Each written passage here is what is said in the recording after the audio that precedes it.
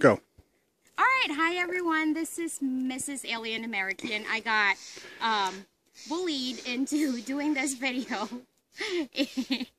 so he can get uh, more ads clicked. Anyway, we just wanted to point out um, where what to look for when uh, when driving up here to the Lost Dredge uh, mine. See, there's the sign right there. All right, Lost Dredge mining claim.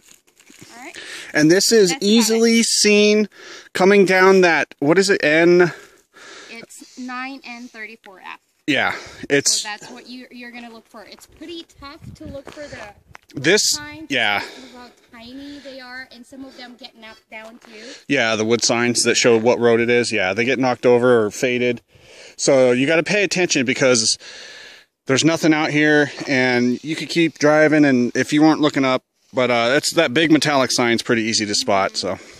And there's a, a lot of um, off-roaders over here. Yeah, we keep hearing dirt bikers zipping around, but that's pretty much the only thing we've heard all day. So, That's it. Ta